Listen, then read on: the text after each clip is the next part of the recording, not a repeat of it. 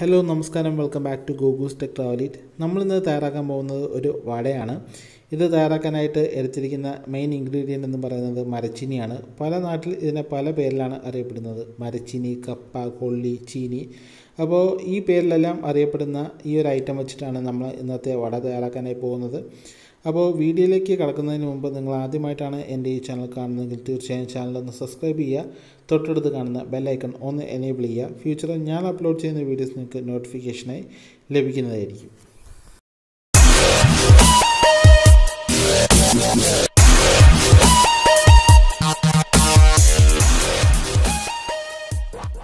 അപ്പോൾ കുറച്ച് കപ്പ നമ്മൾ ചെറുതായി കട്ട് ചെയ്ത് കഴുകി വൃത്തിയാക്കി ഇവിടെ വെച്ചിട്ടുണ്ട്. അപ്പം നമുക്ക് ഇതിന് നന്നായിട്ടൊന്ന് കുക്ക് ചെയ്തെടുക്കാം.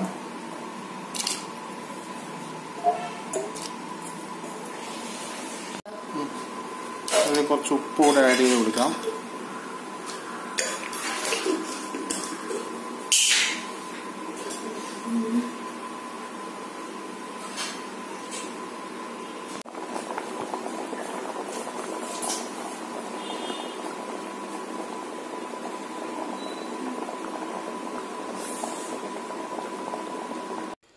അപ്പോൾ മരിച്ചിനി ഇവിടെ നന്നായിട്ട് തിളച്ച് വരുന്നുണ്ട്. അപ്പോൾ ഓരോ മരിച്ചിനിക്കും ഓരോ വേവാണ്. അപ്പോൾ ഈ എടുത്തിരിക്കുന്ന മരിച്ചിനിക്ക് ഒറ്റ വേവേ ഉള്ളൂ. അപ്പോൾ നിങ്ങളുടെ മരിച്ചിനി എടുക്കുന്നത് ഒന്ന് ശ്രദ്ധിച്ച് നോക്കുക. രണ്ട് മൂന്ന് വേവ് ഉള്ളതാണെങ്കിൽ വെള്ളം ഊറ്റി കളഞ്ഞിട്ട് മാറ്റി മാറ്റി വെള്ളം ഒഴിച്ച് വേവിച്ചെടുക്കേണ്ടി വരും. അപ്പോൾ അതൊക്കെ ഒന്ന് ശ്രദ്ധിക്കുക. ഇപ്പോൾ ഇവിടെ മരിച്ചിനി അത്യാവശ്യം നന്നായിട്ട് തന്നെ വെന്ത് നമുക്ക് കിട്ടിയിട്ടുണ്ട്. ഇതൊന്ന് തണുക്കാനായിട്ട് വയ്ക്കണം.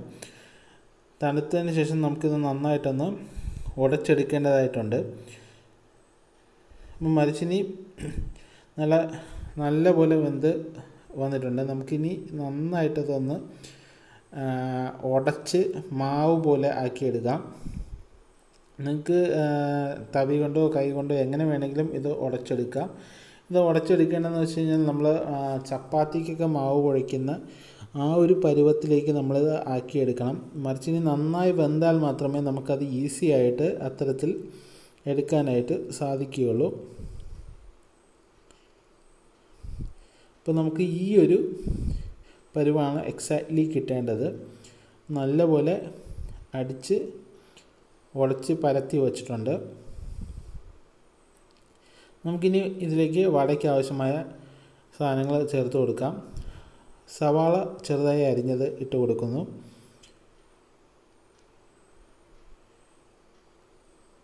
അതിലേക്ക് കുറച്ച് ചെറുതായി മുറിച്ച ഇഞ്ചി ആഡ് ചെയ്ത് കൊടുക്കുന്നു.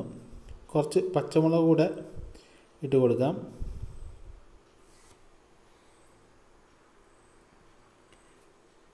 ഒരു മുളകാണ് എടുത്ത് ചെറുതായി ഞാൻ കട്ട് ചെയ്ത് ചേർത്തിരിക്കുന്നത്. കുറച്ച് കറിവേപ്പിലയും കൂടെ ചേർത്ത് കൊടുക്കാം. കറിവേപ്പില ഞാൻ ജസ്റ്റ് ഒന്ന് മുറിച്ചിട്ടുണ്ട്. മുറിച്ചില്ലെങ്കിലും കുഴപ്പമൊന്നുമില്ല. ഇനി ഒരു കളറിന് വേണ്ടിയിട്ട് കുറച്ച് മുളക് പൊടി കൂടെ ആഡ് ചെയ്ത് കൊടുക്കാം. പച്ചമുളകും മുളക് പൊടിയും ചേർക്കുന്നുണ്ട്. അപ്പോൾ എരിവൊന്ന് ശ്രദ്ധിച്ച് നോക്കുക. കുറച്ച് മഞ്ഞൾപ്പൊടി ചേർക്കുന്നു. അതിലേക്ക് കുറച്ച് ഉപ്പ് കലക്കിയ വെള്ളം ചേർത്ത് നന്നായിട്ടൊന്ന് മിക്സ് ചെയ്യാം ഉപ്പ് കലക്കിയ വെള്ളം ചേർക്കുന്നത് എന്താണെന്ന് വെച്ച് കഴിഞ്ഞാൽ ഈക്വലി എല്ലാ പോർഷനിലേക്കും ഒരുപോലെ ഉപ്പിന്റെ അംശം എത്താൻ വേണ്ടിയിട്ടാണ്. നമ്മൾ ഓൾറെഡി ഇത് വേവിക്കുന്ന സമയത്ത് ഒരു പ്രാവശ്യം ഉപ്പ് ചേർത്തിട്ടുള്ളതാണ്. അപ്പോൾ രണ്ടാമത് ഉപ്പ് വെള്ളം ഒഴിക്കുമ്പോഴത്തേക്ക് ശ്രദ്ധിക്കുക. ഉപ്പ് കൂടാണ്ട് നോക്കണം. അപ്പോൾ ഇതിൽ ഒരു ക്രിസ്പിനെസ് കിട്ടാനായിട്ട് കുറച്ച് അരിപ്പൊടി കൂടെ ചേർക്കുന്നുണ്ട്. അതും കൂടി ചേർത്ത് നമുക്ക് നന്നായിട്ടൊന്ന് കുഴച്ചെടുക്കാം. ഇതിലേക്ക് ഉപ്പ് വെള്ളം തളിക്കുന്നത് എന്താണെന്ന് വെച്ചാൽ നമ്മളിതിൽ പൊടി ഉപ്പാണ് ഇടുന്നതെന്നുണ്ടെങ്കിൽ ചിലപ്പോൾ ചില സ്ഥലത്ത് കൂടിയും കുറഞ്ഞൊക്കെ നിൽക്കാം. ഈക്വലി ഒരുപോലെ മിക്സായി കിട്ടണമെന്നില്ല. അതുകൊണ്ടാണ്. അപ്പോൾ ഇത് കുഴയ്ക്കുന്ന സമയത്ത് നമുക്ക് കയ്യിലേക്ക് മാവ് ഒട്ടുന്നു എന്ന് തോന്നുകയാണെങ്കിൽ നമുക്ക് ആ വെള്ളം ചെറുതായിട്ടൊന്ന് ഇതിലേക്കൊന്ന് തളിച്ച് കുഴച്ചാൽ മതിയാവും. ആ ഒട്ടുന്ന അതൊന്ന് മാറിക്കിട്ടും. ഇപ്പോൾ മാവ് നന്നായിട്ട് നമ്മൾ മിക്സ് ചെയ്തെടുത്തിരിക്കുകയാണ്. ഇനി നമുക്ക് കുറേശ്ശെ മാവ് എടുത്ത് ഷേപ്പ് എടുക്കാം. ഞാനിവിടെ ഒരു പരന്ന കട്ട്ലറ്റിന്റെ ഷേപ്പാണ് എടുത്തിരിക്കുന്നത്. നിങ്ങൾക്ക് വേണമെങ്കിൽ ഉഴുന്ന വടയുടെ ഒക്കെ ഷേപ്പ് ഏത് വേണമെങ്കിലും എടുക്കാം. കയ്യിൽ ഒരല്പം എണ്ണ ചേർത്തിട്ടുണ്ട്. കയ്യിൽ ഒട്ടിപ്പിടിക്കാതിരിക്കാനായിട്ട്. പക്ഷേ എണ്ണയെക്കാട്ടിയും എഫക്റ്റീവായിട്ട് എനിക്ക് തോന്നിയത് പച്ചവെള്ളമാണ്. വെള്ളം ചേർത്ത് കഴിഞ്ഞാൽ ഒട്ടിപ്പിടിക്കുന്നത് വളരെ കുറവാണ്.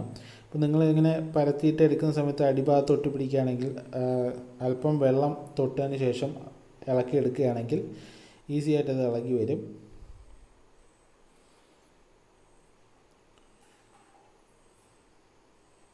വെള്ളത്തിന്റെ അംശം ചേർത്തതിന് ശേഷം അത് ഒട്ടുന്നില്ല. നല്ലപോലെ തന്നെ ഇളകി വരുന്നുണ്ട്. ഇനി ചൂടായ എണ്ണയിലേക്ക് നമുക്കിത് ഇട്ട് കൊടുക്കാം ഇത് ഒരുപാട് സമയം എണ്ണയിലേക്ക് ഇടേണ്ടതായിട്ടുള്ള ഒരു ആവശ്യം വരുന്നില്ല. വളരെ പെട്ടെന്ന് തന്നെ ഇത് വെന്ത് കിട്ടുന്നുണ്ട്. പിന്നെ മരിച്ചിനെയൊക്കെ ഓൾറെഡി ഒരു പ്രാവശ്യം നമ്മൾ വേവിച്ചതായതുകൊണ്ട് തന്നെ വളരെ പെട്ടെന്ന് തന്നെ ഇത് വെന്ത് കിട്ടുന്നുണ്ട്. നമുക്ക് ഇതൊന്ന് ഇളക്കിയിട്ട് കൊടുത്തുകൊണ്ടേയിരിക്കാം രണ്ട് സൈഡും മാറി മാറി ഇങ്ങനെ ഇളക്കിയിട്ട് കൊടുത്ത് വേവിക്കുന്നതായിരിക്കും കുറച്ചുകൂടെ നല്ലത്.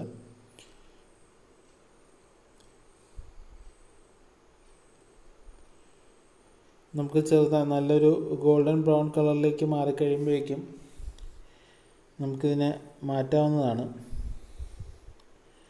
ഏകദേശം ഒരു വട തയ്യാറാക്കാനായിട്ട് ഏകദേശം മൂന്ന് മുതൽ അഞ്ച് മിനിറ്റിനകം മാത്രമേ ഒരു സമയം നമുക്ക് വേണ്ടി വരുന്നുള്ളൂ ഏകദേശം. കാണുമ്പോഴേ അറിയാം അത്യാവശ്യം നല്ല ക്രിസ്പിയാണ് അരിപ്പൊടി ചേർത്തതിന്റെയൊക്കെ ഒരു എഫക്റ്റ് കാണുന്നുണ്ട്. അപ്പോൾ നമുക്ക് അത്യാവശ്യം നല്ല ഗോൾഡൻ ബ്രൗൺ കളറായി വന്നപ്പോഴത്തേക്കും നമുക്കിതിൽ നിന്ന് കോരി മാറ്റാം.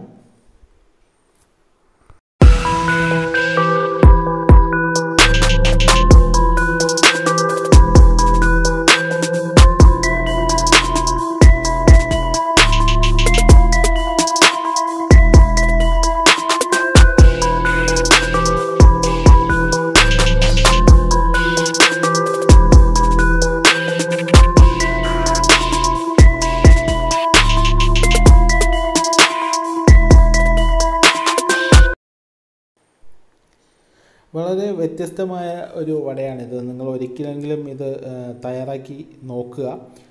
ഒരു ഡിഫറെന്റ് ആയിട്ടുള്ള നല്ലൊരു ടേസ്റ്റാണ് ഇതിനുള്ളത്. നമ്മൾ സാധാരണ കഴിക്കുന്ന വടയിൽ നിന്നും ഒരു ഡിഫറെന്റ് ആയിട്ടുള്ള ഒരു ടേസ്റ്റാണ് അപ്പോൾ ഈ വീഡിയോ ഇഷ്ടപ്പെട്ടാൽ മാത്രം ലൈക്ക് ചെയ്യുക. നിങ്ങളെ കൂട്ടുകാരിലേക്ക് ഒന്ന് ഷെയർ ചെയ്ത് കൊടുക്കുക. അതുപോലെ തന്നെ നിങ്ങളുടെ അഭിപ്രായങ്ങളും നിർദ്ദേശങ്ങളും കമന്റ് ബോക്സിൽ രേഖപ്പെടുത്തുക. അതോടൊപ്പം ഗൂഗിൾ ടെക് എന്ന ഇൻസ്റ്റാഗ്രാം ഫേസ്ബുക്ക് പേജും ഒന്ന് ഫോളോ ചെയ്യുക. വീണ്ടും മറ്റൊരു വീഡിയോയുമായി കാണാം. അതുവരയ്ക്കും bye bye. Thank for watching